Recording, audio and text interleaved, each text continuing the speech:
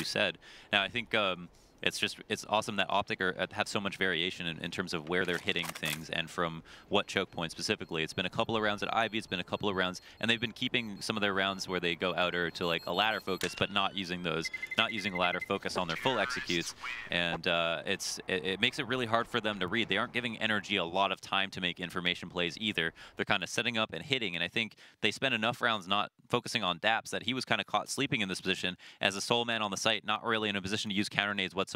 Behind the train is, is a fine angle to try to fight upper, I suppose, and uh, there's friberg dying in his own fire, but he could have taken a duel and won it and maybe